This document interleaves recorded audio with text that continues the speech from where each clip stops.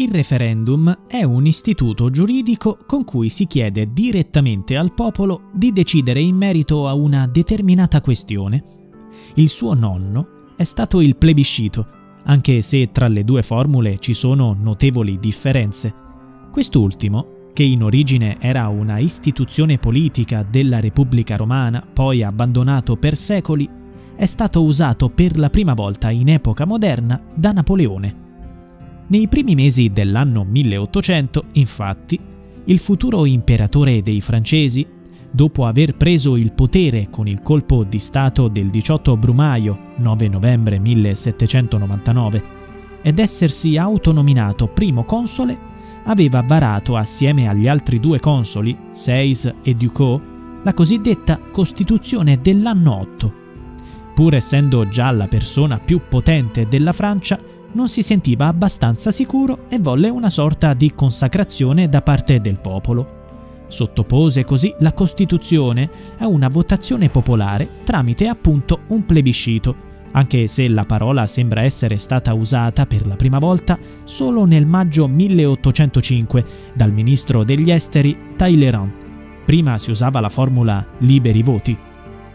L'esito fu favorevole a Napoleone in modo schiacciante anche perché solo una piccola quota dei francesi aveva il diritto di votare.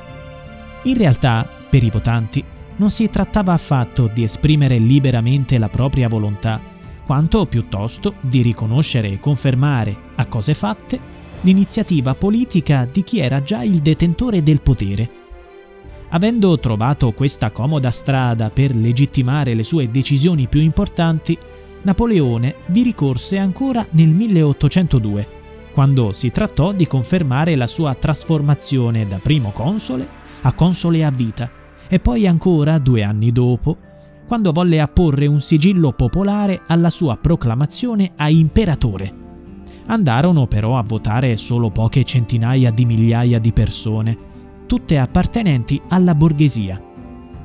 Nel 1851 anche suo nipote Napoleone III usò lo strumento del plebiscito per dichiarare che la sua scalata al potere era voluta dai francesi.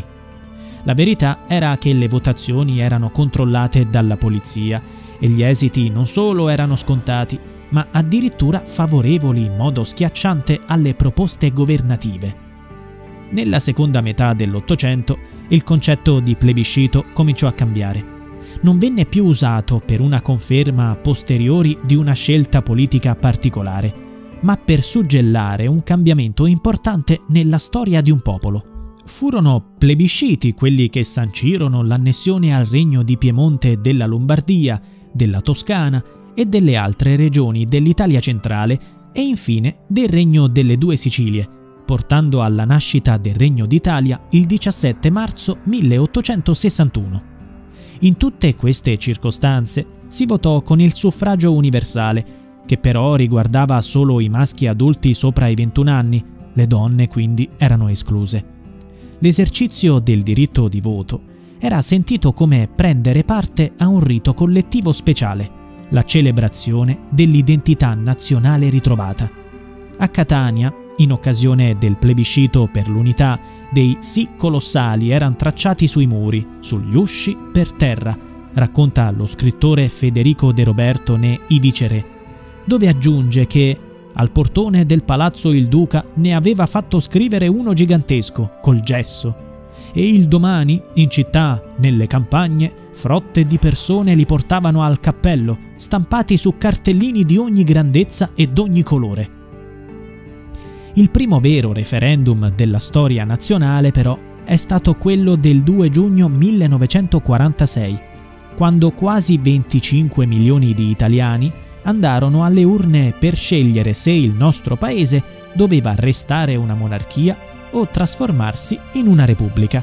I voti a favore di quest'ultima furono 12 milioni, pari al 54,3% dei votanti, mentre gli elettori che si espressero per la monarchia furono 10 milioni, ossia il 45,7%.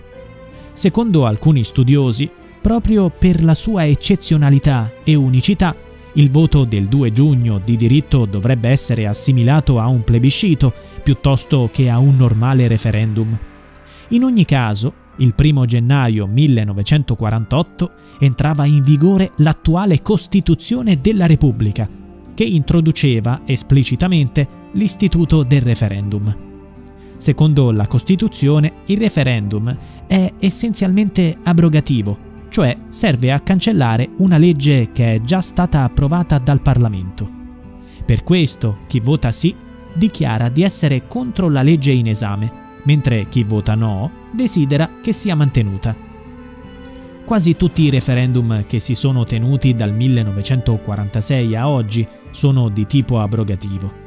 La Costituzione italiana del 1948 non ammette infatti referendum propositivi, tali cioè da introdurre in modo autonomo una nuova legge dello Stato italiano. La validità del referendum abrogativo dipende dal quorum, ossia dalla percentuale dei votanti.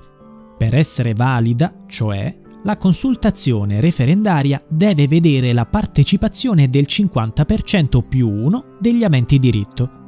Alcune leggi sono sottratte alla possibilità di essere sottoposte a referendum. Le leggi di bilancio, per esempio la legge di stabilità o quelle sulle tasse, le amnistie e gli indulti, i trattati internazionali. Tuttavia, dal 1970 esiste anche il referendum costituzionale o confermativo. Fino a quel momento infatti non c'era una legge che ne stabilisse le modalità. Con questo tipo di consultazione il popolo viene chiamato a decidere se confermare o meno una legge di riforma costituzionale già approvata dal Parlamento, ma senza la maggioranza qualificata dei due terzi. È questo il caso del referendum del 4 dicembre 2016 sulla riforma costituzionale approvata dal Parlamento il 12 aprile 2016, reso necessario dal fatto che la riforma è stata approvata con meno di due terzi dei votanti di ciascun ramo del Parlamento. Nell'antica Roma la parola plebiscito, letteralmente ordine della plebe, cioè del popolo, indicava qualsiasi legge votata dalla plebe su proposta dei tribuni.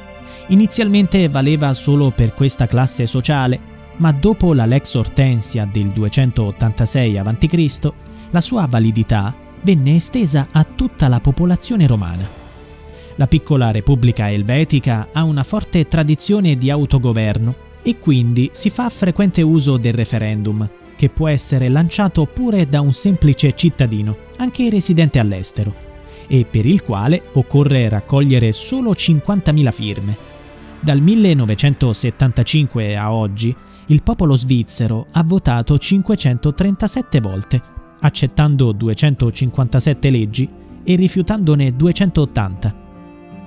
Il referendum abrogativo in Italia è regolato dall'articolo 75, che recita così. È indetto referendum popolare per deliberare l'abrogazione, totale o parziale, di una legge o di un atto avente valore di legge quando lo richiedono 500.000 elettori o 5 consigli regionali non è ammesso il referendum per le leggi tributarie e di bilancio, di amnistia e di indulto, di autorizzazione a ratificare trattati internazionali. Hanno diritto di partecipare al referendum tutti i cittadini chiamati ad eleggere la Camera dei Deputati. La proposta soggetta al referendum è approvata se ha partecipato alla votazione la maggioranza degli aventi diritto e se è raggiunta la maggioranza dei voti validamente espressi. La legge determina la modalità di attuazione del referendum.